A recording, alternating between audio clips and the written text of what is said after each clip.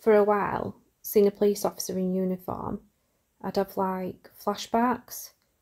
If something happened to me again, I don't think I'd ever report it.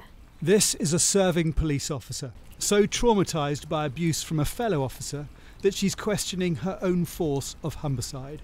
And her testimony suggests there might be the need for a Louise Casey style review into sexism and other failings in every police force, not just London's.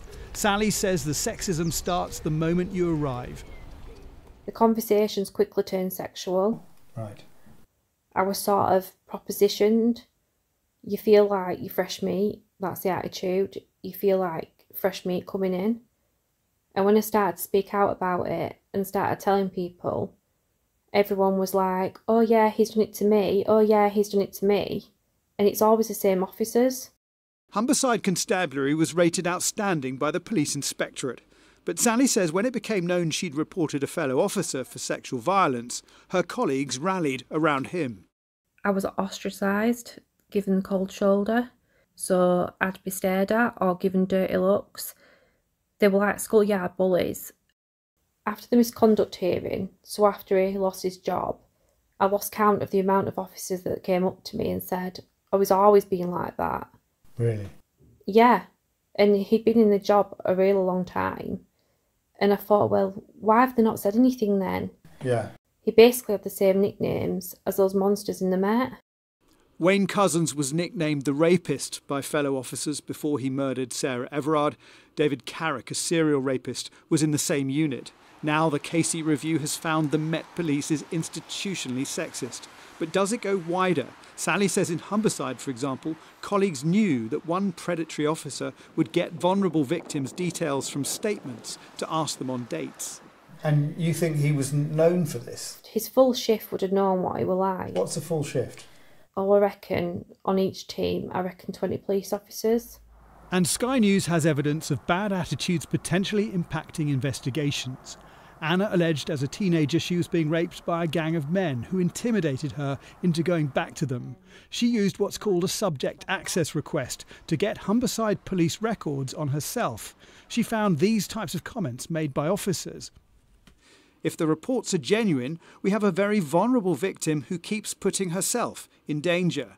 This is a very regular occurrence. The female herself is making lifestyle choices of her own. This victim doesn't come across as the best type of witness victim that I've seen. That whole time, I was still under social services. I was really vulnerable. I was on a protection plan. It said how I was getting strangled, I was being sexually assaulted, I was high risk, but they never did anything to stop that. It's very much attention seeker, lifestyle choices, maybe putting herself at risk is another thing that comes up. So they're kind of blaming you. There's no wonder the case was never brought to court because before it's even got there, they've completely undermined it. I think they basically set that case up to fail.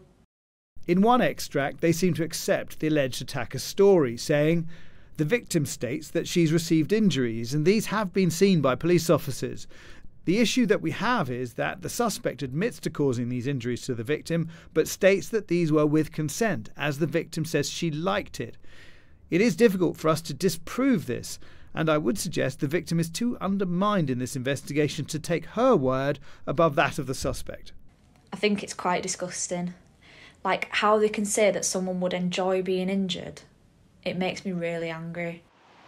Louise Casey's findings have rocked London's police force, but she told Sky News the problems are likely to be national. Should there be a Louise Casey type review into every other police force? I actually think uh, the answer to that is yes, because I think that what we have found, there are some things there like vetting, like sort of the cultural issues, particularly around race and around women.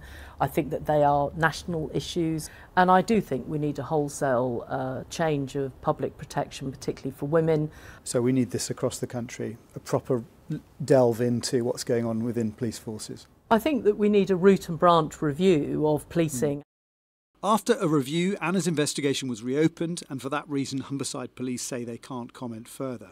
But Deputy Chief Constable Paul Anderson said child sexual abuse and exploitation is a deplorable and condemnable crime, and we're determined to bring offenders to justice and hold them accountable for their actions.